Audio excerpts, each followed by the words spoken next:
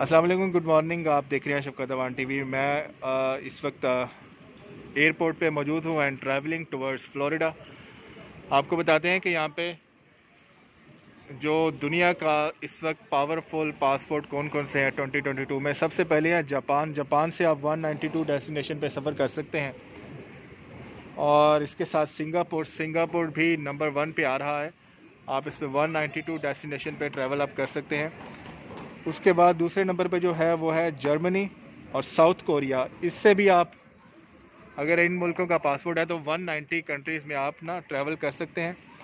और थर्ड पे है फिनलैंड इटली स्पेन अगर इन मुल्कों का पासपोर्ट आपके पास है तो आप 189 कंट्रीज़ में ट्रैवल कर सकते हैं।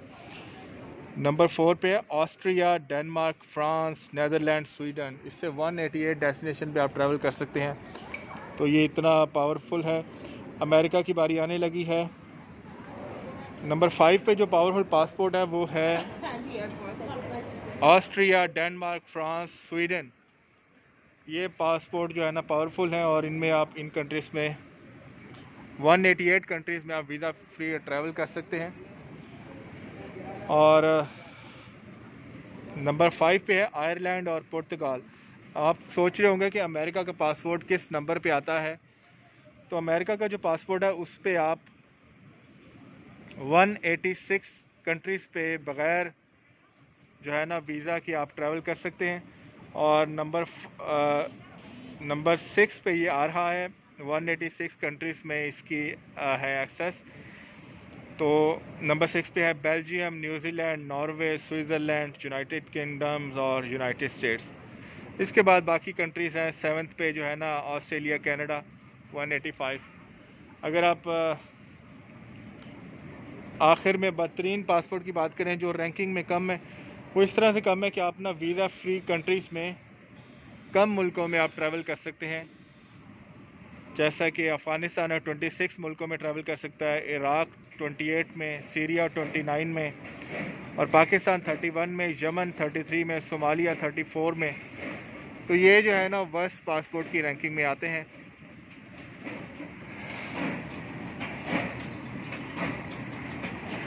इस वक्त ट्रैवल करने के लिए अगर आपने ट्रैवल करना है तो आपके पास वैक्सीन का पासपोर्ट होना वैक्सीनेशन का स्टेटस होना ज़रूरी है। आपने प्रॉपर वैक्सीन कराई हो then you can travel you are able to travel otherwise आप ट्रैवल नहीं कर पाएँगे विदाउट वैक्सीनेशन स्टेटस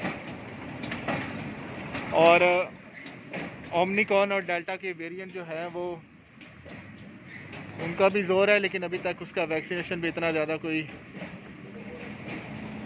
नहीं है अलबत्त अगर आपने टू डोज लगवाई हुई है वैक्सीनेशन का स्टेटस है तो आप ट्रैवल कर सकते हैं।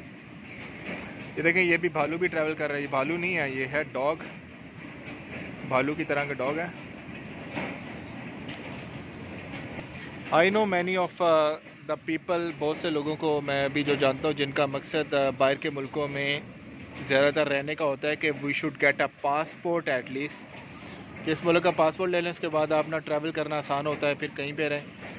कई कई मैं ऐसे पाकिस्तानी को जानता हूँ जो तकरीबन 15 20 30 साल से हर साल यहाँ पे आते हैं अमेरिका, कनाडा में, लेकिन यहाँ पे रहते नहीं हैं। और मुख्तलिफ़ वजूहत होती हैं। और पर्पज़ यही होता है कि to get a passport so I will make a video on it as well मैं काफ़ी दिनों से वीडियो नहीं बना रहा था। उन दोस्तों का शुक्रिया जिन्होंने मुझे इंस्टाग्राम में मेरा शफकत अवान आईडी है, उस पर मुझसे कॉन्टेक्ट किया, मुझसे पूछा। इसके अलावा फेसबुक भी शफकत टी टीवी है।